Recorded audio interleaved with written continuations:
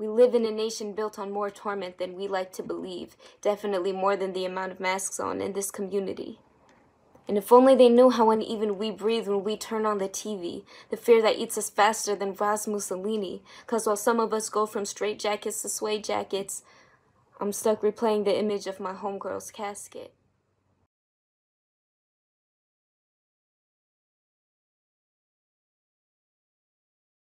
So my name is Nadia. I use she, her pronouns, and I go to Berkeley High. I'm a junior.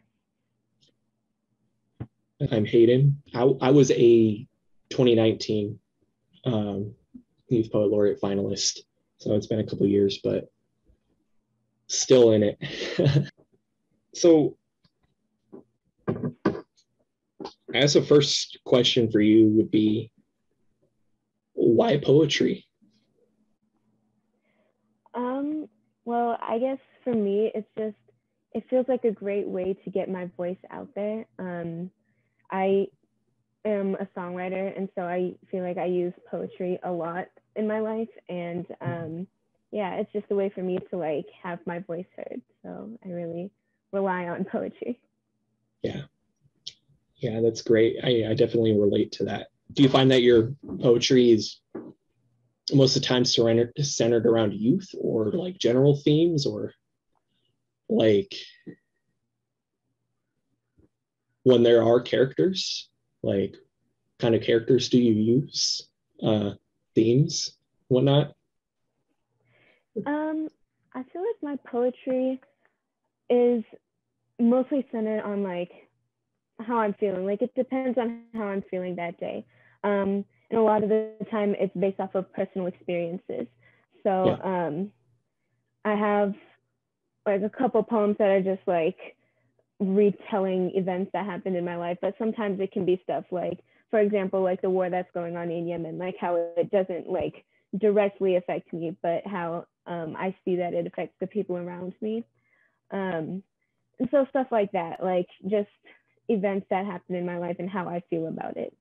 Um, and i don't really use characters when i'm writing i'll like mention um, people and like talk about myself sometimes but i don't really have any like characters that I use. Yeah, it's it's definitely it's definitely a good way to take in the moment and digest it. Um, uh, I mean, music starts with poetry, and music's our, music is based off of our life experiences as well. So it's like it's a good way to for us to articulate and be able to understand what's happening around us you know, because it, not only does it explain, it, it attaches a feeling to it. That's the most yeah. important part. How do you feel when you write poetry and when you perform poetry? Um, well, I feel like I feel different things. Um, like when I'm performing versus when I'm writing. Like I feel like when I'm writing, it's I feel really um I don't know. I feel like I have different feelings when I'm writing, and usually like that's what I pour into my work. But when I'm performing, I notice that I always feel super like inspired and just happy. Like even if I am performing like a heavy piece, I always feel super like I don't know, complete, I guess would be the word.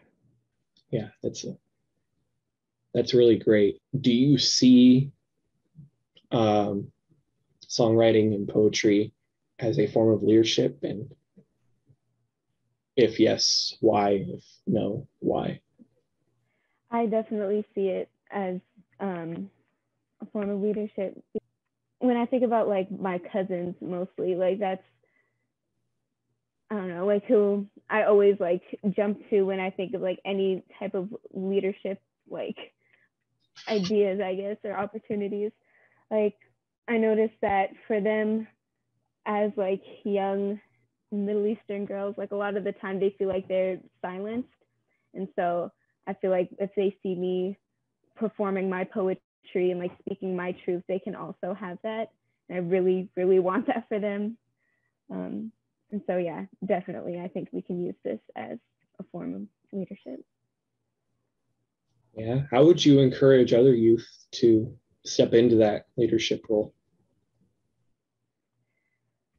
Um, I mean, I guess I would say to you know, do it for themselves because it just makes you feel like, I don't know, like it makes you feel happier when you're inspiring other people, especially younger people. Um, just being able to speak your truth at the same time, like it's just, I feel like you get to gain a lot from leadership opportunities through poetry and through songwriting and through any like art forms, you know, I feel like that's just a great way to go because you also get to do something that you're passionate about. So I, I, I, I, I really do uh, look forward to seeing what you come up with, seeing what you do next, because, um, I mean, society needs to hear it. You know, we've got open ears. Thank you so much. I know too well the negativity that settles rent free in the brain, the pain from knuckles that crack and bleed against sleepless nights and peeling wallpaper. In reality, my heart is more shattered than Chernobyl windows. But my personality, that's where it really starts to come in handy, for it has more depth than the rings on a bristlecone pine tree. It helps me find my spark within the art of poetry.